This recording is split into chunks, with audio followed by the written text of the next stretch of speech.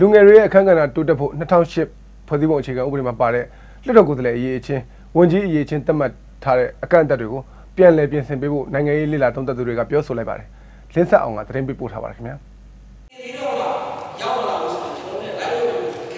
ဒီမိုကရေစီပြုပြင်ပြောင်းလဲရေးအခမ်းကဏ္ဍမှာ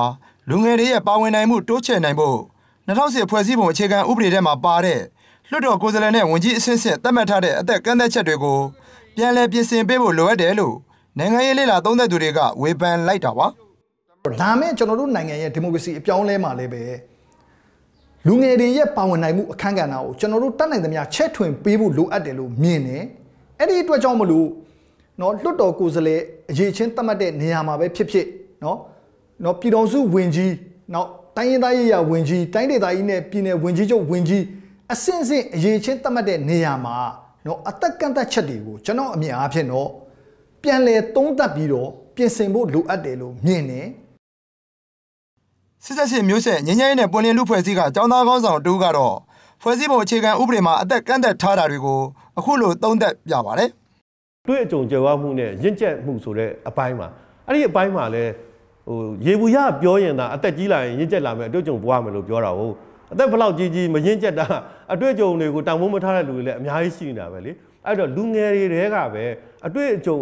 ကိုလည်းတန်ဖိုးထားပြီးတော့သိမ်းဆဲတတ်မယ်ပြန်သုံးတတ်မယ်ရင့်ကျက်မှုဟာလည်းတချို့ဆိုလို့ရှိရင်လေ့ကျင့်ရင်းနဲ့ငယ်ရွယ်သူပြင်ဖြစ်နေတာရင့်ကျက်တဲ့သူတွေရှိပါတယ်အဲ့တော့အဲ့ဒီအချက်၃ချက်ကပဲအရေးကြီးတယ်လို့ကျွန်တော်ကတော့နားလည်တယ်ခုနအသက်အပိုင်းခြားဆိုတာရေဘူးရကိစ္စပါဒါတွေကပြန်စဉ်းစားတင်တယ်လို့ကျွန်တော်ယုံပါတယ်။ကျောင်းသားလူငယ်တွေရဲ့နိုင်ငံရေးအရာအမျှော်မြင်တဲ့စွမ်းဆောင်ရည်ရှိတာတွေကိုဥပိ္ပခပြုမထားဖို့နဲ့လူငယ်တွေရဲ့တွေးခေါ်မှုတွေကိုမြင့်တင်ပေးဖို့ဦးကျော်သူကအခုလိုအကြံပြုလိုက်တာပါ။ ကျွန်တော်အသင်းမှာဆိုလူငယ်တွေရှိတယ်လူငယ်တွေကိုကျွန်တော်ကနေရာပေးတယ်။လူငယ်တွေကိုလက်တွဲခေါ်တယ်။အဲဒီလိုအသက်ကန့်သက်ထားတယ်ဥပမာအသက်50အထက်ကျမှဒီလိုလုပ်ငန်းတွေလုပ်ရမယ်ဆိုရင်ဒါလူငယ်တွေရဲ့ဒီဉာဏ်ရည်ရောတွေးခေါ်မှုကိုပါဒါ